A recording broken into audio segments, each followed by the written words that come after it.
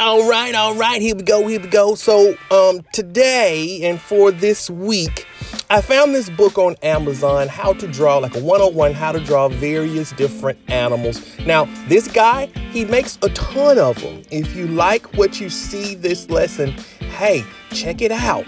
There's a ton of things. Like here's the holidays and dinosaurs and and then you go to like fairies and funny people, horses and ponies and oh my gosh, there's a lot of things. Anyway, so I picked a few animals from the 101 How to Draw Animals book, right? And and here's the thing. I, I don't necessarily want you to draw all of them and I don't expect you, the one that you pick, to draw it perfectly the first time.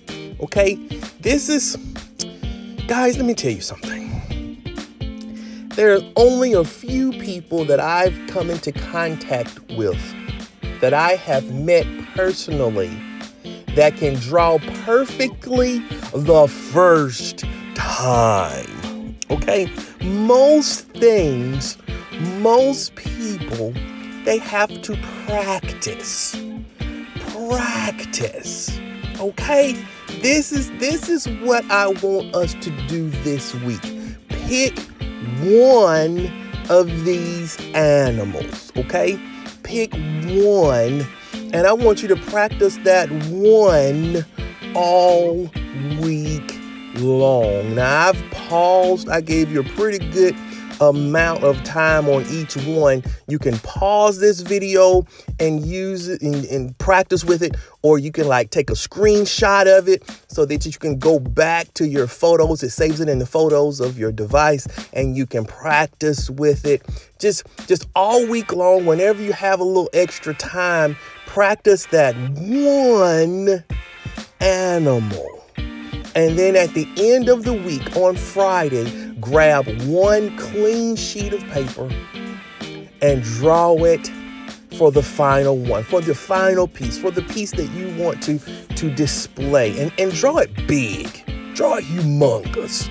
Don't draw little bitty small things. You can draw it small if you want to practice, but the final piece, oh, oh, make it large. I have some of the hard, have the hardest time getting you dry. guys to draw big. I don't know why you draw so small. You're so you itty bitty. You draw just so itty bitty. I don't understand why you do that. I don't understand why you do that. But I digress. Like I said, this is a lesson on practicing, sketching, practicing and then finally, when you get it right, when you think you're satisfied with it, give yourself a week, at least a week. Draw it at least once a day.